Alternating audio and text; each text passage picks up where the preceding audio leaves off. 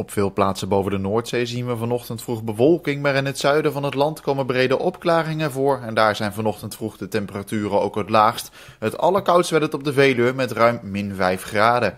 Vanochtend neemt vanuit het noorden de bewolking wel toe en uiteindelijk valt in het noorden van het land ook een enkel spatje regen. Maar in het zuiden van het land blijft de zon volop schijnen, maar ook daar wordt het dan vanmiddag langzaamaan bewolkt. De wind die waait zwak tot matig uit west tot noordwest en de temperatuur loopt op naar 8 tot ongeveer 11 graden, de hoogste waarde in het zuidoosten van het land. Vanavond is het overal wisselend bewolkt. Lokaal valt misschien nog een spat regen, maar op de meeste plaatsen is het droog. Vannacht dan klaart het met name in de zuidoostelijke helft weer breed op en daar vriest het dan ook opnieuw licht. Morgen dan hebben we te maken met wolkenvelden, maar in het zuidoosten van het land eerst ook periode met zon. Later op de dag valt verspreid een enkele bui en het wordt opnieuw vrij zacht met 10 of 11 graden. In de dagen daarna dan blijft het in eerste instantie wisselvallig. Met name op vrijdag kan nog een bui vallen. Zaterdag is het grotendeels droog. Dan draait de wind naar het zuiden. Komt zachte lucht onze kant op.